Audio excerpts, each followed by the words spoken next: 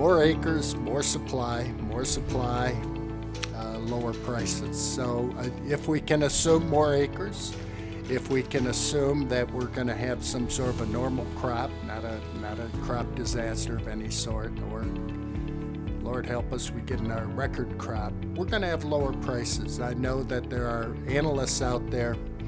Uh, just to put it in perspective, today, new crop soybean prices in eastern South Dakota, new crop, are probably low $9 uh, bid right now.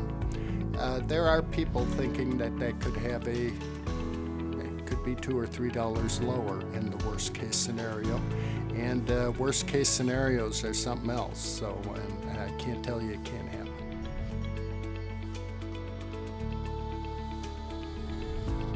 Dicamba uh, tolerant soybeans really fit well into a lot of uh, farmers' cropping programs, especially in South Dakota, because we have a lot of troublesome weeds like uh, mare's tail, um, common water hemp, uh, kochia, and very troublesome weeds that we've been having a hard time controlling because of the glyphosate resistance in there.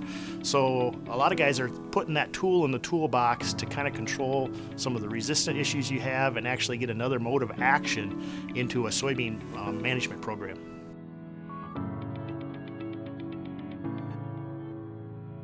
So tips for managing white mold. So this disease is quite serious and for some producers you can get up to 30% yield loss uh, because of uh, this disease.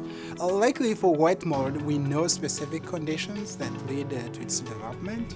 Uh, if you've had it in the past, if you're uh, planting a susceptible cultivar, um, if you're having a high fertility environment, you could see white mold develop.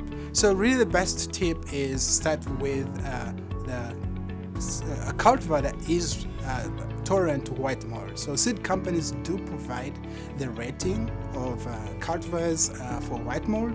So you want to use a cultivar that really has good rating against white mold.